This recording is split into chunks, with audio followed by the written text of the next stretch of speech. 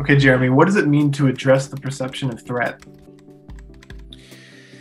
Uh, this is a this is a good one. We could talk about this for quite a while. I think, um, you know, when we're talking about people in conflict, or even someone in conflict within themselves, a lot of times the conflict stems from a place of threat perception, of perceiving some sort of threat. And a lot of times that could be a threat to one's basic needs, it could be a threat to one's explicit goals.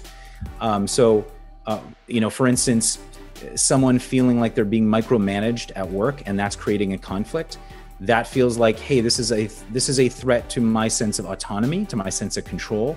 Uh, it could be a feeling that they don't this person doesn't trust me so i'm not a trustworthy person right? Or the, at least this that's how they're thinking about me. So my like micromanaging can bring up all those different perceptions of of threats threats to the needs of autonomy threats to the need of of feeling trusted or something.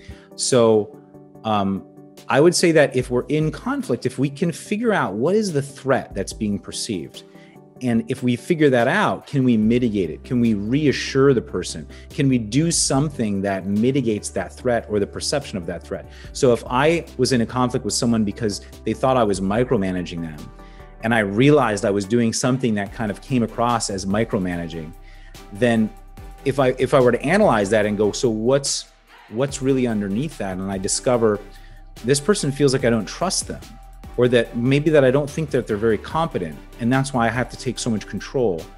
Um, what I want to do is I want to mitigate that threat by directly directly addressing it. No, I actually really do trust you, and I actually really do think you're very competent and you're really good at your job. I need to d- directly address it.